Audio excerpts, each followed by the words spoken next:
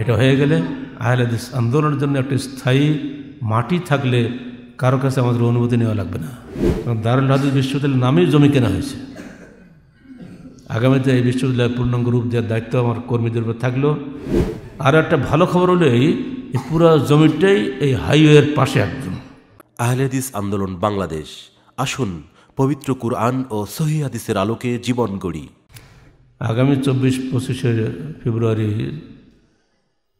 রাজশাহীতে বত্রিশতম বার্ষিক তবলিগ ইস্তফা অনুষ্ঠিত হবে। আল্লাহ একদিন আমাদেরকে সে সুযোগ করে দেন। করোনা ভাইরাস বেড়ে যাচ্ছে। আরও বেড়ে গেলে হয়তো আমাদের সরকার অনুমতি দিবে না। এটার জন্য নয়, সকল মানুষের কল্যাণের জন্য দ্রুত আল্লাহ পাক করোনা উঠিয়ে নিন, আমরা সেই দোয়া করব। ইস্তেমার সাফল্যমণ্ডিত করার জন্য অর্থনৈতিক সহযোগিতা আপনাদের যা দেওয়ার অভ্যাস আছে, দেওয়া শুরু করুন, অনেকে দেওয়া শুরু করে দিয়েছেন, হাত বাড়িয়ে দিন। অনেকে চিন্তা করছেন, তাই তো। ইজতেমা তো নিজস্ব জমিতে করতে হবে, তো মাটি কেনার হলো কি? এটারও সুসঙ্গ দিচ্ছে আপনাদেরকে। গত পরশু দিন দুইবারে মিলে আট বিঘা ছয় কাঠা জমি আমাদের রেজিস্ট্রি হয়ে গেছে।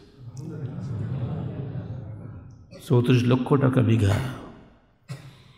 অতএব দানের হাত বাড়িয়ে দিন, আপনাদের টাকা দিয়ে ক্রয় করা। অনেকের ভয় হয়েছে, চিন্তা হয়েছে তাই তো?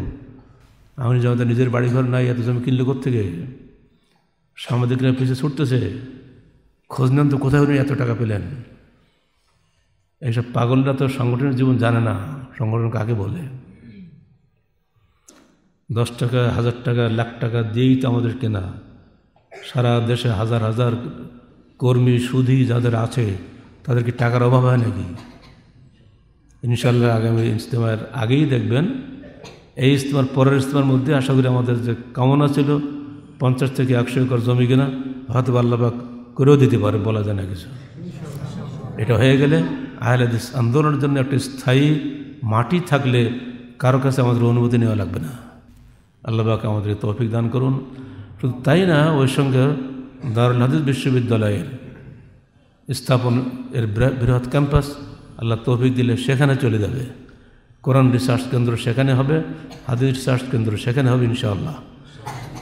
এটা হলো তার মূল মার্কাজ। কিন্তু এখানে তো জায়গা হবে না, এখনই ছাত্র জায়গা হচ্ছে না। আমাদেরকে অবশ্যই অনুযায়ী ট্রান্সফার করতেই হবে আজকাল। এটা আমার জীবদশা যে অন্তত ভিড়টা তো হলো কারণ দারুল হাদিস বিশ্ববিদ্যালয়ের নামেই জমি কেনা হয়েছে।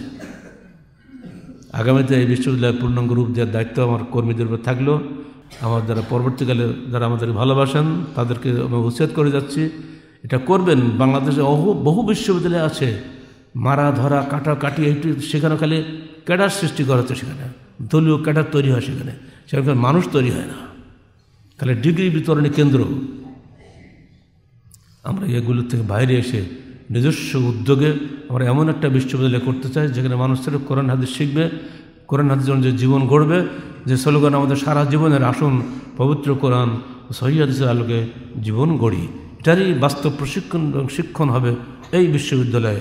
এবং সারা দেশে হাদিস ফাউন্ডেশন, শিক্ষা বোর্ডের যত অনুমোদিত, অধিভুক্ত যতগুলো মাদ্রাসা আমাদের হচ্ছে, এই সবগুলোর কেন্দ্র হবে এই দারুল হাদিস বিশ্ববিদ্যালয়। ইনশাআল্লাহ যদি আল্লাহ কবুল করেন। বিল্ডিংয়ে তো মানুষ হয় না, মানুষ দিয়ে বিল্ডিং চলতে হবে। ওরকম কর্মী, ওরকম শিক্ষক যেন আল্লাহ পাক আমাদের ব্যবস্থা করে দেন, আল্লাহ পাকের কাছে প্রার্থনা করে যাচ্ছি আমি। আর একটা ভালো খবর হলো এই পুরো জমিটাই এই হাইওয়ের পাশে একদম। আপনাকে কোনো রাস্তা ধরে ভেতরে যাওয়া লাগবে না। এইটি একটা বড় পাওয়া যেটা আমরা খুঁজতে খুঁজতে খুঁজতে খুঁজতে এটা পেয়ে গেছি। এই আট বিঘা পুরো জমিটাই হাইওয়ের পাশেই, অর্থাৎ আপনার এই যে বেলপুর যেতে হয় না, এই রোডে। উত্তর পাশে। যারা যাবেন এদিকে দেখতে পাবেন। এখন ফসল আসছে এখানে। আমাদের পরিবার, সমাজ, রাষ্ট্র, মূলত মানুষের জীবন তো তিনটাই। এরপর তো পরকাল। এই তিনটা জীবন যদি আখরাত্মকী হয়ে যায়, সে সমাজ হল সোনার সমাজ। আল্লাহ পাক আমাদের সমাজকে, আমাদের পরিবারকে, আমাদের রাষ্ট্রকে সত্যিকার অর্থে আখরাত্মকে গড়ে গড়ে তোলার তৌফিক আমাদেরকে দান করুন।